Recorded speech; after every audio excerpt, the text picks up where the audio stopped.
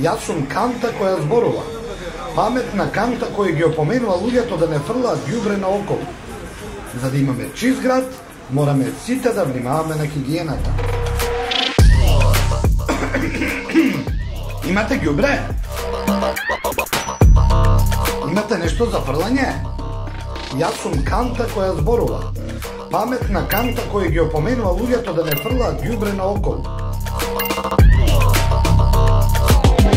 Кумина се такви како вас. Неискрено ви се заблагодарувам.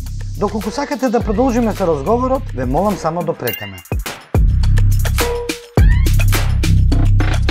Ви благодарам што фрливте ѓубре во кантата за отпадоци.